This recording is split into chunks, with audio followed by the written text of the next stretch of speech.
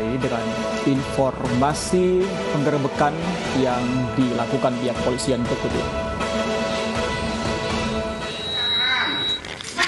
Angkat tangan. Buang aja pistol, buang aja sini pistolnya. Hei. Buang di luar pistolnya ya. Buang aja pistolnya itu. Inilah detik-detik penangkapan Doni, pemeras yang menyandra penghuni kosan di Palembang, Sumatera Selatan. Lamanya proses penangkapan dikarenakan pelaku menyandra penghuni kosan dan membawa senjata api. Negosiasi yang berlangsung alot diakhiri dengan baku tembak antara polisi dan pelaku yang tidak mau menyerahkan diri. Penangkapan yang berlangsung selama tiga jam ini akhirnya membuahkan hasil setelah peluru milik pelaku habis.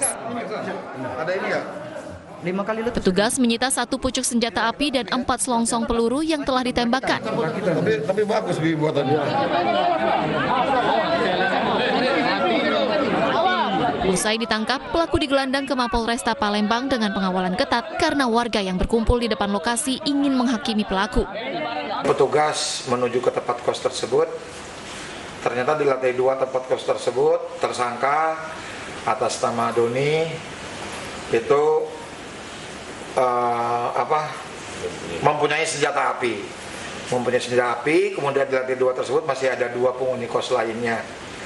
Nah, kita belum tahu uh, apakah uh, motif dari tersangka tersebut, tapi dari petugas kepolisian memperkenalkan diri di tangga bawah bahwa kami dari Polsek EB1 Polrestabes Palembang tiba-tiba tersangka melepaskan dua tembakan. Atas perbuatannya, pelaku dijerat dengan pasal Undang-Undang Darurat 1951, Junto Pasal 335 KUHP dengan ancaman hukuman 10 tahun penjara. Dari Palembang, Sumatera Selatan, Muhammad David, iNews melaporkan.